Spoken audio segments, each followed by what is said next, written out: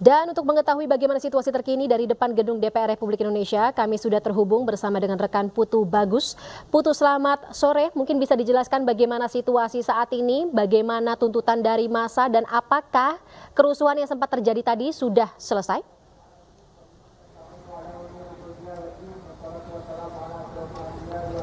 Ya baik selamat sore Fani dan juga pemirsa. Saat ini saya tengah berada di depan gedung eh, DPR di mana memang pada sore hari ini memang masa masih melakukan aksi unjuk rasa atau demonstrasi mengenai aksi atau tuntutan mereka mengenai kecurangan pemilu 2024 dan kami menjelaskan sedikit Fani dan juga pemirsa bahwa memang ada beberapa titik aksi unjuk rasa pada sore hari ini. Salah satunya di titik sayap kanan di tempat kami melaporkan memang ada beberapa maksa aksi yang sudah bubar begitu dan melihat tidak hanya di satu titik, ada beberapa titik lainnya yang kami menjelaskan bahwa di titik sebelah kiri masa masih memadati begitu. Dan memang bisa terlihat di dalam layar kaca Anda, memang di belakang saya kondisinya masih cukup lenggang karena memang seperti yang tadi saya sudah sampaikan, masa ini sudah bubar jalan. Namun di posisi atau di titik lainnya masih ada beberapa masa gabungan yang datang. Salah satunya mahasiswa di mana memang sejumlah masa aksi menyuarakan aspirasinya berdasarkan memang pantauan kami tidak hanya dari mahasiswa namun juga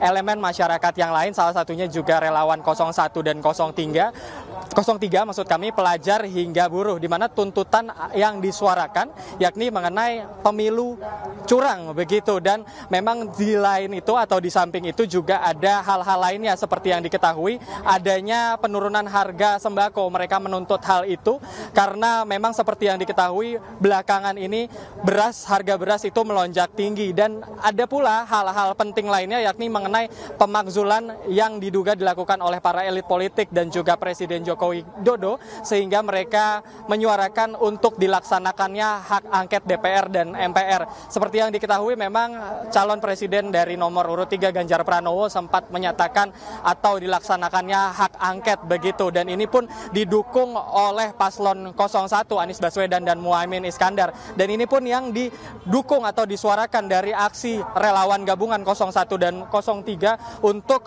mendamaikan atau menyuarakan aksi-aksi untuk tidak ada kecurangan di pemilu 2024. Dan sementara itu mereka juga menyuarakan aksi yang sama dari relawan 01 dan 03 karena memang keduanya memiliki kepentingan bersama. Selain dari hak angket mereka juga ada statement lainnya seperti hak selain hak angket ada juga kecurangan pemilu seperti penggelombungan data di Sirekap yang seperti yang kita ketahui dari data C1 dan Sirekap yang diunggah di data KPU berbeda begitu. Maka dari itu mereka menuntut keadilan yang seadil-adilnya agar pemilu 2024 berjalan secara damai dan mereka menuntut hak angket karena memang hak angket ini merupakan salah satu cara untuk mengetahui begitu apakah memang ada indikasi kecurangan di dalam pesta demokrasi 2024 sehingga mereka menyuarakan hal ini agar bisa dituntut atau diusut tuntas maksud kami langsung secara langsung oleh DPR melihat memang